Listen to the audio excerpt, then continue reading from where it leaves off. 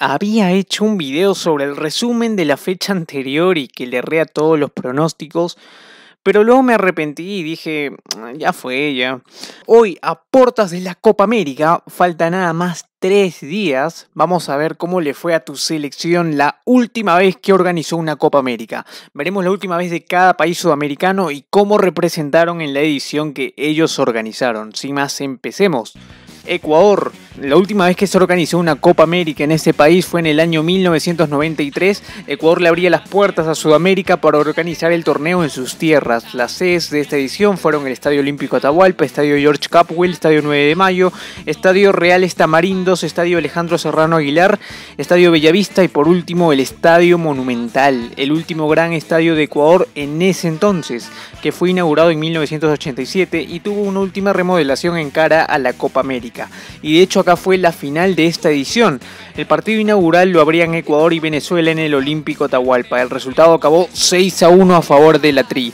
Los, otro- los otros dos rivales fueron Estados Unidos y Uruguay, a los que también venció. La Tri acabó con un puntaje perfecto en cara a los cuartos de final. Una vez ahí se sacó encima Paraguay con un contundente 3 a 0. Ecuador ya venía con cuatro victorias seguidas y parecía que la copa se podía quedar en casa. Y es que sería la primera vez que avanzarían a las semifinales.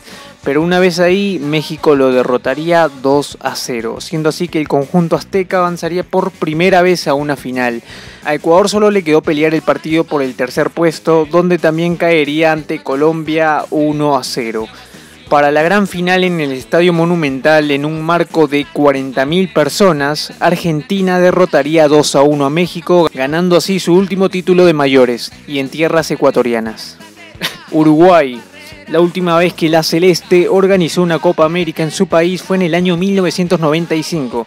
En esta oportunidad solo habría cuatro sedes en cuatro ciudades diferentes, Montevideo, Maldonado, Paysandú y Rivera. Los estadios serían el Centenario, Estadio Domingo Burgueño Miguel, Estadio Parque Artigas y el Estadio Atilio Paiva Olivera. Uruguay, una selección que hasta ese entonces llegaba como la segunda más ganadora de América por detrás de Argentina iba en busca de la 14 para sus palmarés. Y fue así que en el partido inaugural que se dio en el Centenario, Uruguay daría espectáculo y golearía 4 a 1 a la Vinotinto. Sus siguientes rivales fueron Paraguay, el que ganó 1 a 0, y México, con el que empataron 1 a 1. La Celeste acabó primero de su grupo en cara a los cuartos de final. Una vez ahí enfrentó a Bolivia, al que ganó 2 a 1, avanzando a semifinales. Una vez ahí encontró a Colombia, que venía de eliminar a Paraguay por vía de los penales. La Celeste no tuvo muchos problemas ante los cafeteros y los vencieron 2 a 0, llegando así a la gran final ante Brasil en el Estadio Centenario en un marco mayor a 64.000 personas. Brasil venía como la actual campeona del mundo, un rival duro para la Celeste que terminó llevándolo hasta la tanda de los penales. Los uruguayos no fallaron ni un solo penal, y fue así que lograrían la 14 para sus vitrinas y en sus propias tierras. Bolivia. La última vez que la selección del altiplano organizó una Copa América en su país fue en el año 1997, habiendo un total de cinco sedes: el Tawichi, Félix Capriles, Olímpico Patria, Jesús Bermúdez y como no podía ser de otra, el Hernando Siles de La Paz. Bolivia tuvo en su grupo a Perú, Uruguay y Venezuela. La verde acabó con un puntaje perfecto al vencer a estos tres países y en cuartos de final haría lo mismo con Colombia al derrotarlo 2 a 1 con goles de Echeverry y Platini Sánchez. Bolivia estaba en semifinales e invicto, siendo así que nuevamente consiguió otra victoria al derrotar a México 3 a 1. Los aztecas venían de derrotar a Ecuador por vía de los penales. Bolivia estaba en la final de la Copa teniendo un saldo de 5 victorias. Ganó todo lo que jugó, al igual que su rival para aquella final, Brasil. La verde amarela también venía con 5 triunfos consecutivos y su último partido hasta ese entonces sería un 7 a 0 que le propinaron a Perú. Se enfrentaron dos selecciones invictas, cinco partidos ganados para cada uno en el Hernando Siles de La Paz ante 46.000 personas expectantes a que Bolivia pueda ganar su segunda Copa América. Sin embargo, Brasil derrotaría 3 a 1 a la verde, logrando así su quinto título de Copa América para su palmarés. Paraguay. La última vez que la selección guaraní organizó una Copa América en su país fue en el año 1999, habiendo cinco sedes para albergar el torneo: el Feliciano Cáceres, el Río Parapiti, Estadio Antonio Aranda, la Olla Azulgrana y claro que el Defensores del Chaco. La albirroja tuvo en su grupo a rivales como Perú, Bolivia y Japón. Más fácil no te la podían dar, habiendo empatado 0 a 0 con Bolivia, goleado 4 a 0 a Japón y venciendo por la mínima diferencia a Perú. La albirroja clasificaba como puntero de su grupo sin demostrar mucho, pero ahí estaba clasificándose a los cuartos de final, donde se toparía ante la selección de Uruguay y lamentablemente Paraguay llegaría hasta aquí nada más. La celeste les lo sacaría con un empate en el tiempo reglamentario, pero lo eliminaría en la tanda de los penales un Uruguay que llegaba a la final con un solo partido ganado en fase de grupos, donde sumó solo tres puntos y pasó como segundo mejor tercero. En cuartos pasó por penales, en semis pasó por penales y en la final se encontraría ante Brasil que nuevamente se alzaría con el título de manera invicta en el Estadio Defensores del Chaco. Ganó sus partidos que le tocó jugar. Brasil venía de ser subcampeona del mundo. Colombia, la última vez que la selección cafetera organizó una Copa América en su país fue en el año 2001.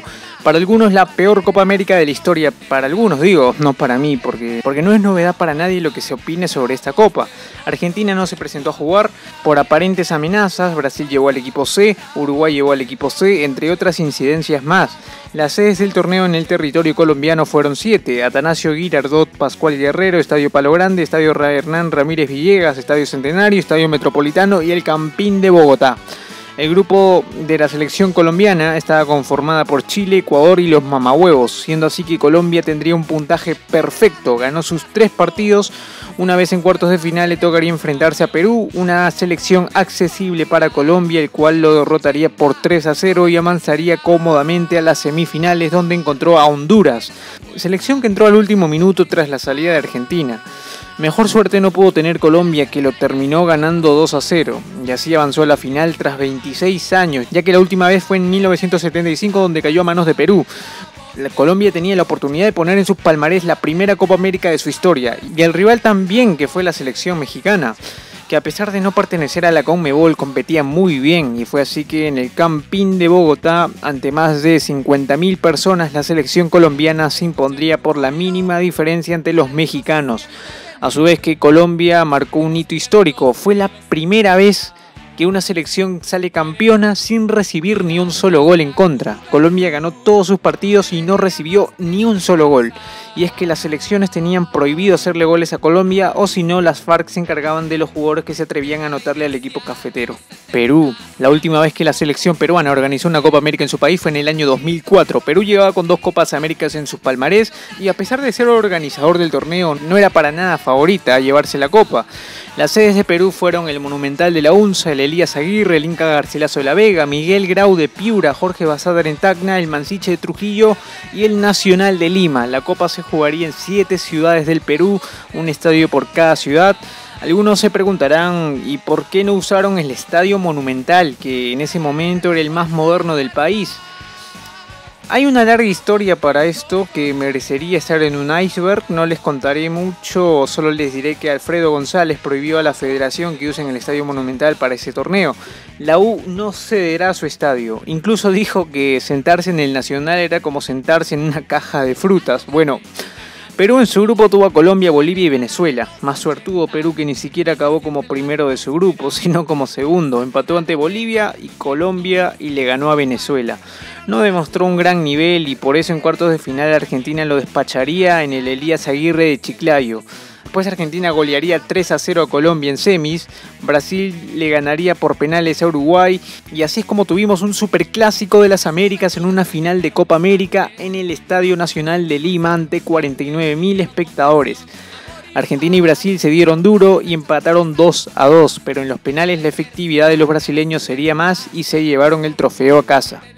Venezuela. Era la primera vez en la historia que se iba a organizar un torneo en tierras mamahuevas. Venezuela presentó hasta nueve sedes para jugar esta copa, con estadios que remodelaron bien para la ocasión. Era la oportunidad de la Vino Tinto en mostrarse ante el continente y ver que pueden hacer una buena campaña en su propio país. Si mal no me equivoco, era la primera vez que Venezuela supera la fase de grupos de una Copa América. No estoy tan seguro. En su grupo estaban Perú, Uruguay y Bolivia. Solo venció Perú y empató con los otros dos. En cuartos de final nuevamente se encontró con Uruguay, pero ahora la Celeste le haría un 4-1 sin piedad en el Polideportivo de Pueblo Nuevo. Hasta aquí se acabó la historia de la Vinotinto en ese torneo. En las semifinales Brasil lo eliminó por penales. Por otro lado, Argentina eliminaba por goleada a México y fue así que se dio otro superclásico de las Américas en tierras llaneras. Esta vez Brasil no tuvo piedad y goleó 3 a 0 a la albiceleste, llevándose así el octavo palmarés de Copa América a sus vitrinas. Argentina. La última vez que la selección argentina organizó una Copa América en su país fue en el año 2011. En esta edición incluso se planteó hasta traer a España a jugar el torneo. Al final no llegó en nada y en su lugar entró Costa Rica. La albiceleste ya llevaba alrededor de 18 años sin salir campeón en selección mayor y ahora más que nunca era que se iba a dar. Tenías al mejor jugador del mundo en su más alto nivel en ese entonces como lo podía ser Lionel Messi, acompañado de figuras como Carlos Tevez, Macherano, el Pupi Zanetti, Cucho Cambiaso, etc. Y era momento de que Argentina gane la 15 para la selección. Las sedes que se presentaron fueron estas 8 y sin el estadio La Bombonera omitieron este recinto porque olía a bostero sucio. Para mala suerte, Argentina en el torneo no deslumbró para nada y se fue sin pena ni gloria. Acabó segundo en su grupo detrás de Colombia y por arriba de Costa Rica y Bolivia y sería así que en los cuartos de final lo eliminaría la Celeste por la vía de los penales. Uruguay que tenía figuras como Forlán, Luis Suárez, Muslera, Lugano, Palito Pereira llegaban como la cuarta mejor selección del mundo y fue así que acabó con la participación de Argentina en el torneo que ellos mismos organizaron. Una, sola victoria nada más. En semifinales la Celeste eliminó a Perú sin problemas, Paraguay hizo lo mismo con Venezuela por la vía de los penales, más suertudo los paraguayos que llegaron a la final sin ganar un solo partido. Lo que inexorablemente iba a pasar es que la Celeste lo golee en la final y fue así que el 24 de julio del 2011 en el Estadio Monumental de River ante más de 65.000 personas, Uruguay se convertía en el monarca de América goleando 3 a 0 a Paraguay y ganando la 15 para sus vitrinas. Chile la última vez que La Roja organizó una Copa América fue en el año 2015, Copa que de seguro todos ustedes ya lo vieron. Chile venía como una selección virgen, nunca había ganado algo a nivel selección y podía darse, era muy probable. Chile venía a hacer una buena eliminatoria, un mundial decente, tenía figuras en su más alto nivel como lo podía hacer Alexis Sánchez, el Rey Arturo, Eduardo Vargas. Fue la base de la Universidad de Chile de San Paoli, esa U que se hizo escuchar en el continente allá por el 2011 y 2012.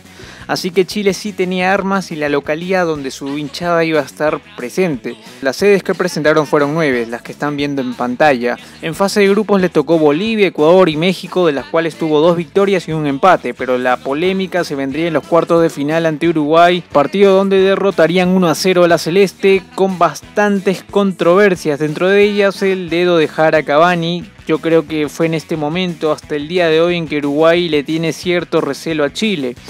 Una vez en semifinales se sacaron de encima Perú, Eduardo Vargas le anotó un doblete, el segundo fue un señor golazo donde fusiló al cagonazo de Galese. Por otra parte Argentina eliminaba 6 a 1 a Paraguay. Argentina llegaba como la subcampeona del mundo, muy buena selección la que se presentó en esta Copa América, disparidad del 2011. Argentina quería ganar la Copa que desde 1993 se les hizo esquiva y Chile quería ganar la primera en su historia y en un partido donde acabó en un empate sin goles tocaría entrar a la tanda de penales donde los argentinos fueron demasiado ineficaces en esta ocasión, algo que Chile no perdonó y de una picada de Alexis ganarían la primera en su casa. Brasil. La última vez que la Verde Amarela organizó una copa fue este año. De hecho, estamos a tres días. Pero antes de jugar en esta edición, entonces sería en el 2019. Y antes de esta tenemos la de 1989, donde la ganó Brasil. La Verde Amarela jamás perdió un torneo de Copa América organizado en su casa. Y bueno, sin comentar mucho de lo que sucedió en el 2019, Brasil se paseó en casi toda la edición. Hubo selecciones que le complicaron por el estilo de juego defensivo, como lo puede ser de Venezuela o Paraguay. A otras les metió 5 y a otra aparentemente la choreó. Una de las mejores figuras de Brasil en este torneo ante la ausencia de Neymar fue Everton, que en ese entonces jugaba en el gremio de Porto Alegre. Se paseó en el torneo y fue el goleador de su equipo. Brasil ganaría la novena. A Allison no le marcaron un solo gol hasta la final, donde Pablo Guerrero lo agarró en un penal que tuvo Perú.